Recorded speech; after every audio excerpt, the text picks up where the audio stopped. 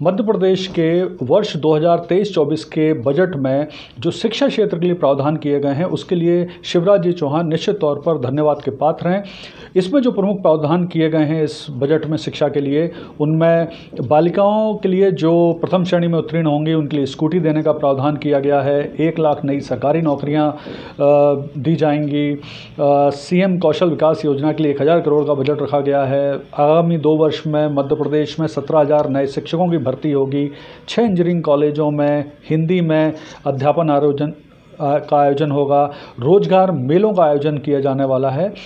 तो इस तरह से हम कह सकते हैं कि शिवराज जी ने शिक्षा के क्षेत्र को भी बजट में एक बहुत महत्वपूर्ण स्थान दिया है और उनके इस प्रयासों से निश्चित तौर पर आगामी वर्षों में मध्य प्रदेश भी देश में शिक्षा के क्षेत्र में अग्रणी राज्य बन जाएगा।